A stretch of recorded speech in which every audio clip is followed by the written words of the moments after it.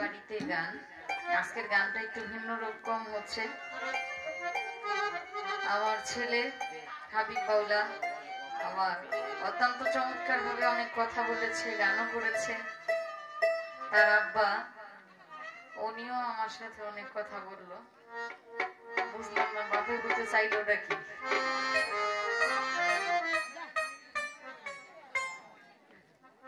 মানে কৌশল করে আইন না। পারতাছে না আরও কিছু করতে। আল্লাহ দয়া করুক। কাছে বসায় রাখছি যাতে বেশি কিছু না করে। আমি নিজে টুমনটা বলছে, আমার করে দিছে। আচ্ছা রে বাবা, ভালোই। আমাকে জিজ্ঞেস করলে সঠিক জবাব আমি যতদূর জানি, দেওয়ার চেষ্টা করি। আর যদিও এটা পালা গান না, কথা খুব কম।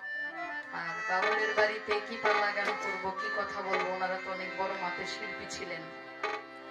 আসলে আমি মনে করব হাবিব বাউলার ভাগ্যটা অনেক ভালো। কারণ ওনার যিনি দাদা, উনিও একজন আল্লাহওয়ালা ব্যক্তি ছিলেন, সহজ সরল মানুষ ছিলেন, আল্লাহর উলি ছিলেন, ওনার নানাও খুব বড় মাপের একজন আল্লাহওয়ালা ব্যক্তি ছিলেন।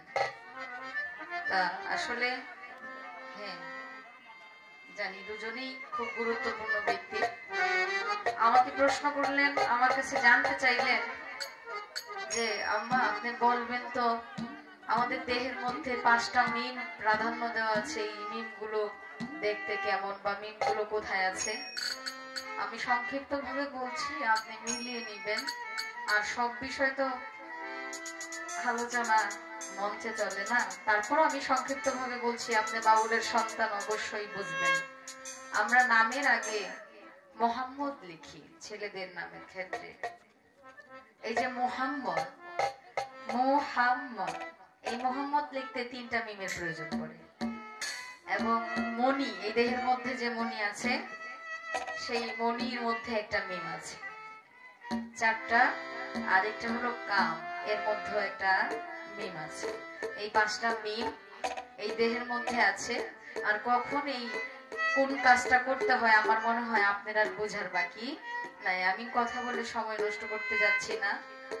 তো বিশেষ করে একটি গান করব। আপনি একটা মায়ের গান করলেন, মাকে স্মরণ করে। আমার খুব ভালো লেগেছে যদিও গানটা। আমি রহমান সাহেবের একটা গান করছি। মানিকগঞ্জের আব্দুর রহমান, ওনার লেখা একটি গান। আশা করি ভালো লাগবে।